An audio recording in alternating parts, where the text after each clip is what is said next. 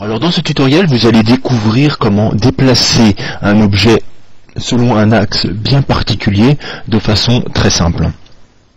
Euh, dans Blender, il est possible de déplacer son objet en appuyant sur la touche G et en le déplaçant. Mais cela n'est pas euh, précis puisque euh, nous ne pouvons pas le déplacer dans un sens bien défini. Par exemple, ici vous voyez l'axe rouge et l'axe des X que vous pouvez voir ici dans le petit, le petit repère. l'axe des Y ici en vert et l'axe des Z en bleu. Donc X c'est les abscisses, Y les ordonnées et Z euh, la pro je sais pas trop comment on dit ça, moi je, dirais la profondeur, voilà, la hauteur. voilà, donc pour déplacer les l'objet dans un sens bien particulier, vous pouvez ou utiliser les euh, widgets que vous avez ici, hein. vous voyez, très simplement, voilà, vous utilisez les widgets.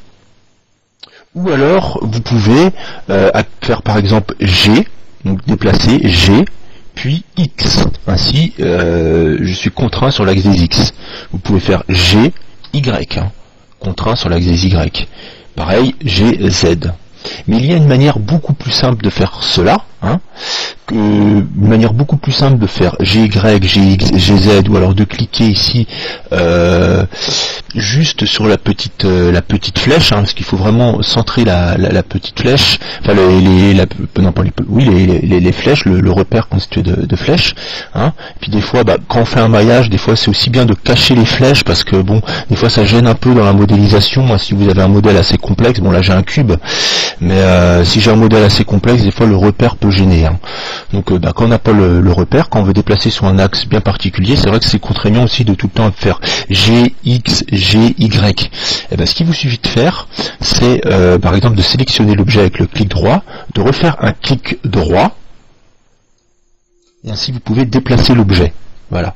Donc de refaire, donc vous, cliquez droit pour sélectionner l'objet, hein. donc je vais le désélectionner, je clique droit pour le sélectionner, clic droit à côté et euh, déplacement euh, léger de, la souris vous pouvez lâcher le clic droit ensuite et votre objet se déplace et ensuite vous cliquez sur la molette de la souris et maintenant vous voyez que lorsque l'on clique un axe apparaît et en fonction euh, du sens dont vous allez euh, déplacer votre curseur euh, de la souris cela va choisir un axe hein.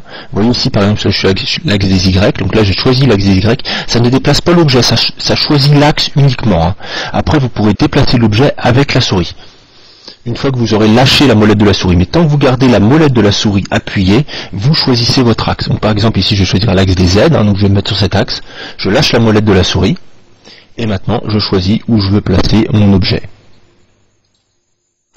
j'ai cliqué sur le bouton droit, fallait que je clique sur le bouton gauche, je suis désolé. Donc euh, je refais un clic droit à côté, j'appuie sur la molette de la souris, je déplace mon objet, et je fais un clic gauche pour arrêter mon déplacement. Hein, et puis bah, bien sûr, j'ai voilà déplacement sur euh, l'axe des Z, et clic droit pour annuler mon déplacement. Voilà. Donc voilà, c'est tout pour ce court tutoriel. J'espère qu'il vous aura aidé. Hein. Euh, bah, je ferai aussi des.